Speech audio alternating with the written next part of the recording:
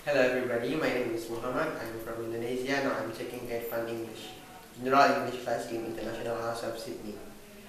Uh, learning in International House of Sydney is very nice. The teacher is very well prepared and professional. It very helped me to improve my English.